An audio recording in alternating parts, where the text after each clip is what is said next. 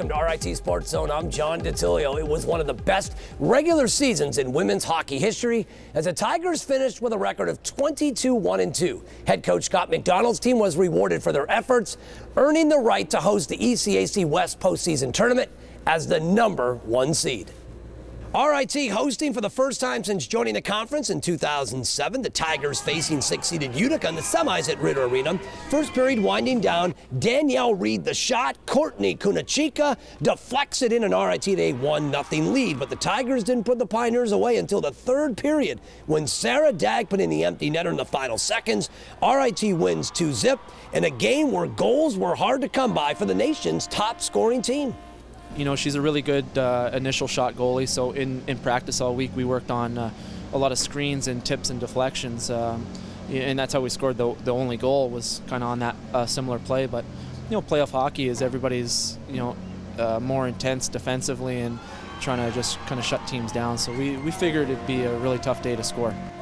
I mean, we've had a lot of games that haven't been high scoring, but um, I think the goalie played really well today, and um, we just we didn't get our breaks, but we, we had a lot of shots and we put a lot of shots on net. We just weren't bearing the rebounds, but it was a good game overall.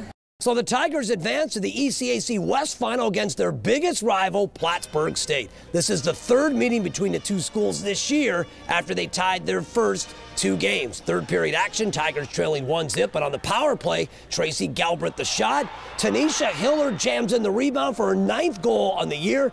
We're tied at one. Under three minutes to play, RIT on another power play. Hiller fires a cross ice pass to Kourtney Kunichika, who puts home her 10th goal of the season. It was 2 1 RIT. Final seconds ticking off the clock, and the Tigers hang on and can finally celebrate. They win the ECAC championship for the first time and earn an automatic bid to the NCAA tournament. Well, up until like maybe the last five minutes when we hadn't scored, we were still trying to solve the solve the goalie. So it was pretty tight the whole way, and just I figured as soon as we maybe get one, then you know you could get some momentum and some excitement, and um, it's just getting that first one under our belt. You know, it's been a tight series with them the whole the whole time we've played all three games, and this game was no different. So, but as soon as that buzzard went, I was ecstatic. I was really, really, really excited about it. What are your feelings on moving on to the NCAA tournament? Um, it's really it's really exciting because um, I've heard about the NCAA's and um, this team hasn't really gotten like I don't think they've made it, but um, I don't know. It's just like it's a big deal and um, um, it's just an exciting time. The Tigers welcomed Adrian to Ritter Arena for the NCAA quarterfinals. Scott McDonald's team beat the Bulldogs twice during the regular season, and RIT had no trouble this time around. First period, Melissa Bromley the shot. Kourtney Kunichika deflects it in. It was 1 0 Tigers. Kunichika set an NCAA record with three goals and three assists on the day. Senior Katie Stack also had a huge afternoon. Here in the second, she puts the Tigers up 6 0 with her second goal of the day. Then moments later, she nets the hat trick with her 20th goal of the year. RIT advances to the national semifinals easily with a 10 1 victory. With more on the victory, here's our very own Kristen Klock. RIT Tigers faced the Adrian College Bulldogs in the Tigers' first NCAA playoff appearance since 2007. The Tigers defeated the Bulldogs at Ritter Arena in a blowout and will now advance to the semifinals.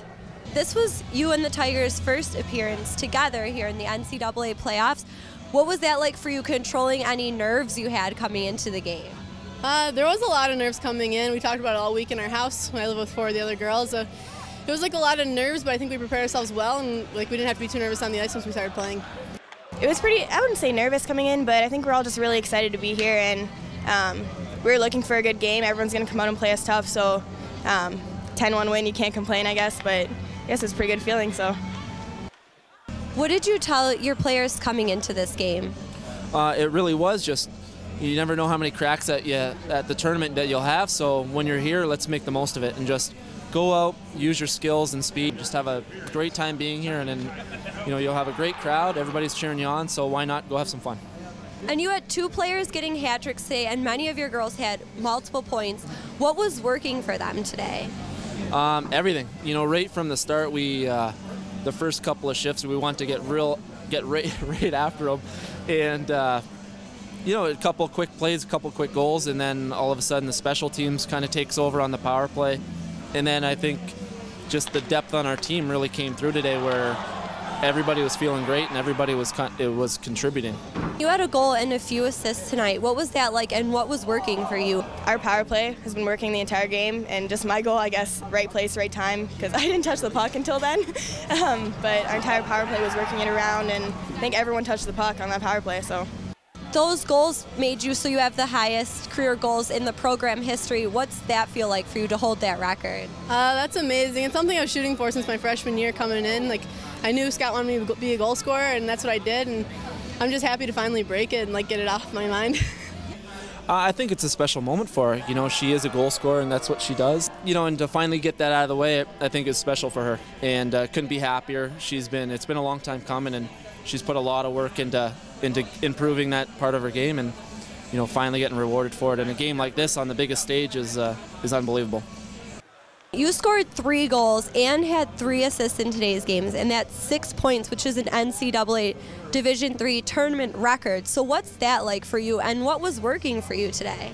Um, just trying to be in the right place at the right time and um, keeping my head up and looking for the, the passes and um, just shooting getting more shots, and if you shoot more, then you hopefully score more. So today's 10-1 game usually isn't typical for the playoffs. What do you guys have to remind yourself coming into these other games that could be closer? Um, just don't underestimate anyone, and um, come out hard, and just keep that that same tempo um, from beginning to end. What's next for you and the team, and how are you guys going to prepare for that? Um, I think this is what we've been looking for all year. We want to make it here, so um, just being prepared, practicing. Obviously, this week is going to be tough, but um, just keeping our heads in it, I think, is going to be tough. So. Uh, for us as a team, we got to win the next game. We don't look ahead to the championship. We just play the next game, and it'll be exciting to play the next three teams, whoever they may be. You know, next week's a you know a new game, new team coming in. It'll be uh, two strong teams. We don't know who we're playing yet, um, but a new set of new set of games, and that's just restart and refocus on a new team, and away we go. The Tigers hosted the Division Three Final Four at Ritter Arena on Friday, March 18th and Saturday, March 19th. RIT faces off against Middlebury on Friday night, 7 o'clock in the national semifinal. Still to come on Sports Zone, the defending Atlantic Hockey Association champions begin defense of their title on home ice, and the sky's the limit for this RIT pole vaulter.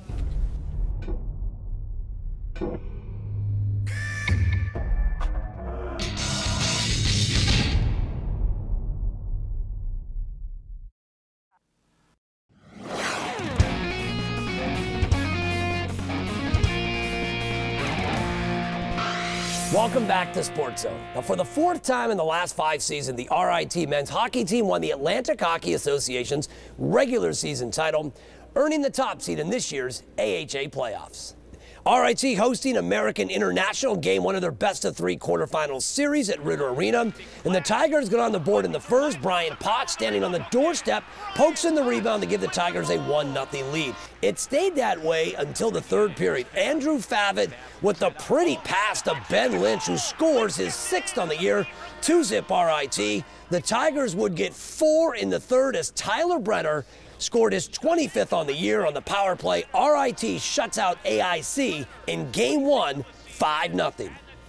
Well, we wanted to get off to a quick start and get our crowd going, and, and I guess we did to a certain degree with, with a 1 0 lead, but we weren't able to extend it for so long. They stayed in the game, and the longer the game went on, the, the more worried you get about uh, bad bounces, uh, you know, lucky goals or good plays on their part and tying it up and and really taking our crowd out. So we stuck with it. Uh, I thought Shane came up with some real big saves um, to get our feet under the ground. And once we got the second goal, we, we started feeling a little more comfortable, and then I thought we went from there. It's playoffs now, and we all had to buckle down and sort of just keep our keep our heads throughout the game. So it wasn't really too much of a of an adjustment from the regular season, but uh, just playoffs is a whole nother level of, of play that you have to bring your, your play to. So uh, that's what we, we focused on all week to get ready for, for the game in a three-game series, it's only it could be one win or one loss, and then you're down one, and you got your backs are against the wall. So we wanted to come out and and get the one one game up and uh, see what happens Saturday night, and then uh, hopefully finish it off on Saturday night. We didn't want to come out and and lose the first game, and then we're, we're our backs are against the wall for Saturday night. So it's going to be very physical. I mean, uh, for some players, it could be their last hockey game. I mean, for seniors, and so both teams are going to, you know, come out strong. I expect the same thing tomorrow night. I, I think it's going to be physical and uh, hard fought, and, and uh, I think the team that keeps the discipline and capitalize on their chances are the one that's going to win the game. Game two, the Tigers looking to close out the series with the Yellow Jackets, but AIC got off to a good start, shorthanded.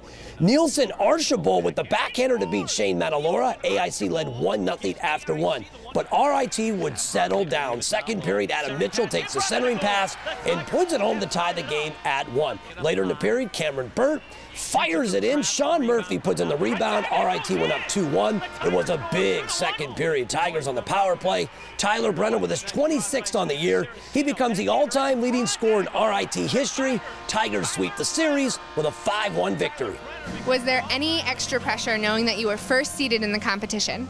I think there's always a little pressure on the first seed to uh, to meet the expectations, which is to win the series. And uh, uh, but I think you know sometimes pressure is good for your team. It, it uh, make, pushes them and uh, it uh, keeps them on their toes. I think if there's no pressure, then sometimes you get very relaxed, and that's when um, you can lose and, and, upsets happen. I thought uh, we were very relaxed. I thought we had a very good first period. We didn't get uh, we didn't score, and we got scored on. So, I, but I thought we played very well, and I, I think it was important for us to just uh, stay calm and, and uh, stick with the game plan and, and, and, really get off to a good start in the second period. And I thought we did that, and then we got ourselves rolling and, and, and got the goals that we needed and had some great penalty kills. And, and Shane did a great job in goal for us as well. So I thought all those things uh, contributed to the, the success of our second period. From last night's game, did you change anything, tell the team anything different? No, we, we wanted to play a lot from the top of the circles down uh, to their goalie a, a lot more. We want to get the puck deep and and uh, not give them any easy opportunities or give them a lot of power plays. And uh, that was what we were trying to do, and, and just try and create some, you know, uh, a lot of scoring opportunities from the top of the circles on in. And I thought we did that uh, tonight. Are you excited to move on to the next round?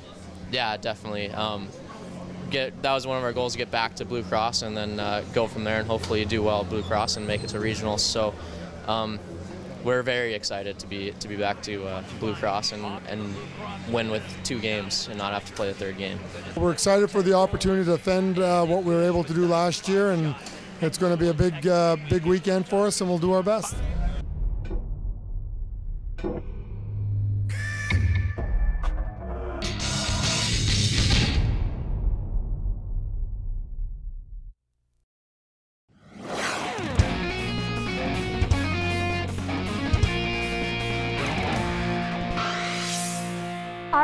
Was well represented at the 2011 NCAA Indoor Track and Field Championships in March. Seniors Matt Marion, Nicole Varble, and Mike Dempsey all competed at Capital University in Ohio. Prior to the event, Sports Zone's Jeff Blossett caught up with pole vaulter Mike Dempsey to discuss his remarkable and record-breaking RIT career.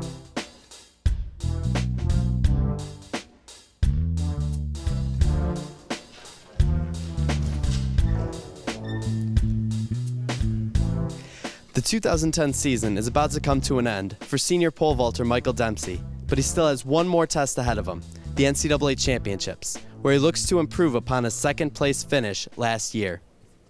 Michael, you have broken your record a few times this year. Can you give us your thoughts on that? Well, we knew it was going to happen, so we just didn't know like how high I'd go or like when it would be, but I broke it pretty soon in the season and uh, I'm just looking to break it more. So, can you give us your thoughts about what was going through your head before and after the jump? Uh, before the jump, I was just I was nervous because I was down on attempts, so I was in second at that point. So then after I made it, I was real pumped. So I was real excited after that. Great. Now, isn't it true that you beat one of the top-ranked pole vaulters at that meet? Yeah, I beat. He's ranked number two right now, and I beat him at the meet. So it's a good positive going into nationals too. Now, how important has Coach Senecal been in your development? Uh, he's been uh, real important because when I transferred in from Albany, I was only jumping 15.9, and that at the end of the season last year, I jumped 16.11 and three quarters. So I PR'd by over a foot with Coach Senecal's uh, coaching. You have gone through some injuries in your career. Can you give us your thoughts on that, especially your most recent one? I uh, I hurt my knee in the beginning of this season, but I just came back strong. I did the therapy that all the trainers told me to do, and I worked out, and now I'm back where I am. Do you think that knee injury will affect you during the NCAA championships? No, I don't think it's going to bother me at all. So it hasn't bothered me lately. How was your previous experience in the NCAA championships, and how do you think that will help you going into this year's? Um, I guess just having the experience from being there, knowing what the competition's like, how hectic it can be at times, and just having that background is real good. So, what are your opinions on the season so far? Um, so far, it's been a little rocky. It went up and down. I no heighted at states, but I came back strong at ECACs. So I'm pleased going into nationals right now. So just looking forward to jumping high. Mike Dempsey finished fifth at the indoor championships with a vault of 5.12 meters.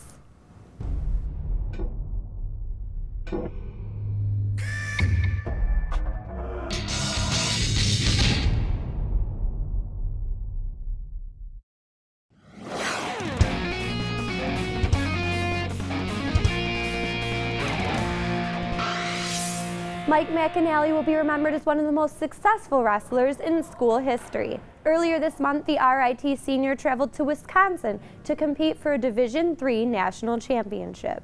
As Olivia Androsa reports, McInally embraced the opportunity that a major injury almost took away.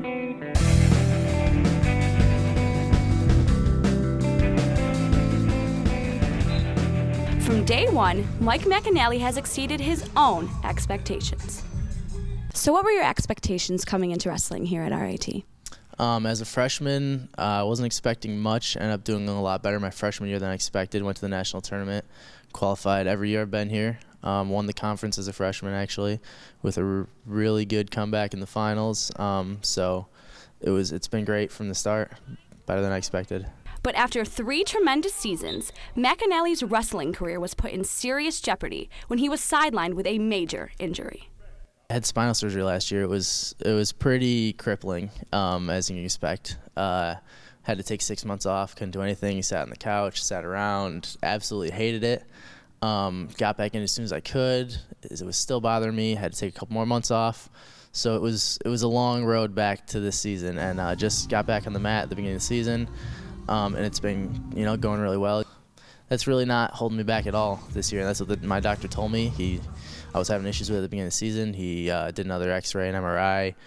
Um, said, you know what, it looks fine. He's like, any pain you're having, don't let it hold you back. So I didn't, and this is where I am.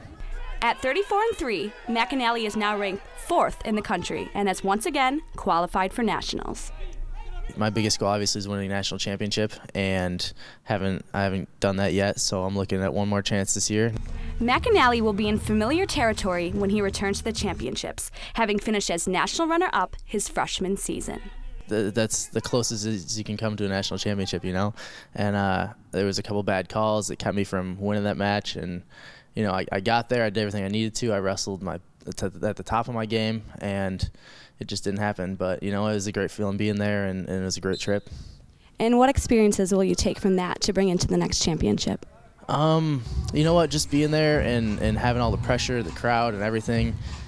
It really never even affected me the first time, but now I've been there. I've I've felt what it's like to be in the finals, be up on that big stage, and now I want to go in and win it. You know. McInally will most likely fall short of the all-time wins record here at RIT, a title held by former teammate and wrestling partner Luke Baum. Luke Baum, who was my uh, partner a couple of years ago, has around 147 wins and I think I'm going to be really close, uh, but coming second. So that's all right. So do you think that he's helped you out a lot here? Luke's helped me a lot. My coach has helped me. You know, all the guys who are in here. It's uh, wrestling. Unlike unlike uh, having a, a, coach in your corner yelling during the game, or or your teammates passing the ball to you. There's your practice partner is really who you gain the most from. And uh, Luke, me and Luke really really learned a lot from each other. We both gained, earned All American rec, uh, recognition together two years ago. Um, and it's really great to have another guy of that caliber uh, in the room with you every day. McInally once again fell just short of his goal, losing in the national championship match of the 133 pound weight class. He finishes his remarkable RIT career with 141 wins, second all time behind Luke Baum. Well, that does it for this edition of RIT Sports Zone. Don't forget, for the latest episodes, we're always on at RITSE.com. And you can also stay up to date with Sports Zone by following us on Twitter and friending us on Facebook. So until next time, thanks for joining us in the zone.